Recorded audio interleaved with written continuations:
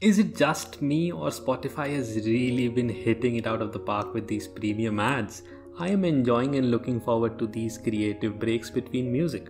Speaking of breaks, and only if you have been following Edzorb Law's 1 Minute 1 section with AK, AK needs a break from discussing forgery and cheating. So today, let us take up culpable homicide at section 299 IPC. Yes, welcome to the offense of killing of a human by a human. For making out the offense of culpable homicide, we would be looking at the following combinations. First, act with intention of causing death.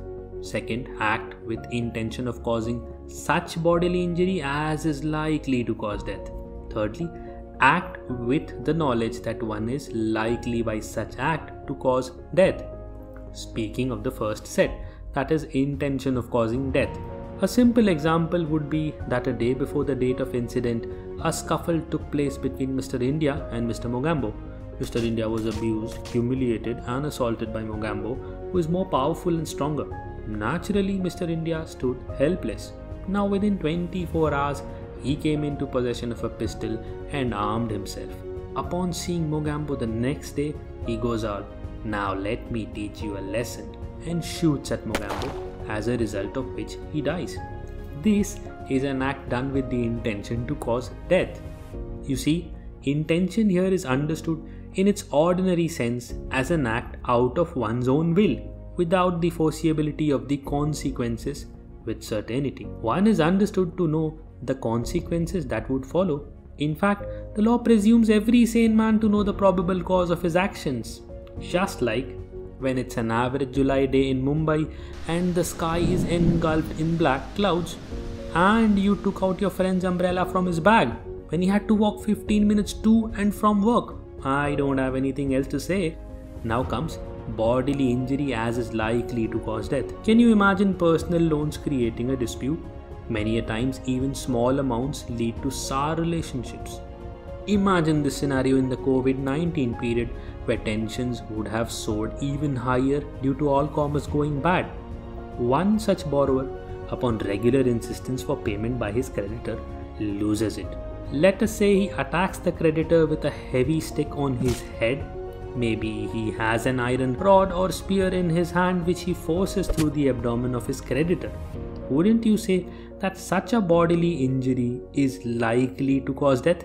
A note of caution here the availability of or recourse to timely medical assistance, which may have saved the person's life, would not exonerate the charge of culpable homicide. I do not, but explanation 2 to section 299 says so. To understand the first explanation, consider the same set of facts I had narrated, however, with a minor change that the creditor had been in an accident the day before and had suffered head injury or that he had a swollen spleen and the borrower knew about it. Coming to the third bit, yes, knowledge that one is likely by such act to cause death. While I am sure Mirzapur, the web series, can be used to understand much of IPC, just one instance would suffice here. If you have followed this, I'm sure you remember Munna Bhaiya crashes a wedding procession and while dancing starts firing his gun towards the sky and well we see the groom falling off the mare and dying as a result of getting shot.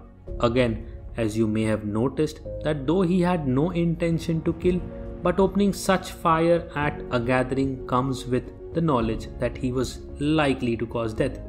While you can take a look at the prescribed punishment know that as per the last explanation, it is homicide to cause the death of a child in a mother's womb if any part of that child has been brought forth, though the child may not have breathed or been completely born. Remember, it's killing of a human. Now, I'll see you on the next episode while you try to navigate around the explanations. Thank you for tuning in.